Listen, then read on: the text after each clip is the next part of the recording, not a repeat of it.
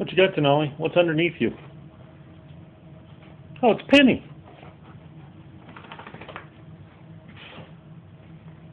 Take him out, Penny. Take him down. He's just a wolf.